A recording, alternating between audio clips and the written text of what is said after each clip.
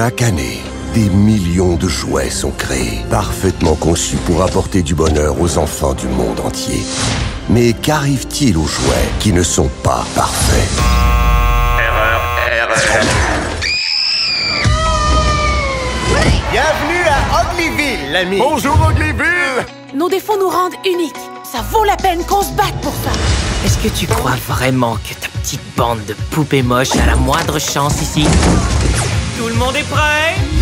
Bienvenue à l'Institut de la Perfection, où seuls les meilleurs deviendront le jouet de l'enfant. Je tiendrai pas longtemps, les amis Reste fou, reste cool C'est quoi ton nom? Tête plate. J'adore les noms littéraux. Tu n'es pas d'accord, Charabia?